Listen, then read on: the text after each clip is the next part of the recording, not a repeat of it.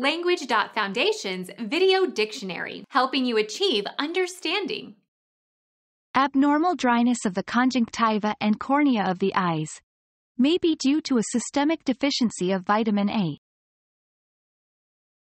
Conjunctivitis arida, xeroma, xerophthalmus. Become our student and get access to effective and free educational materials. Subscribe to our channel to become a part of our growing community and to learn English effectively.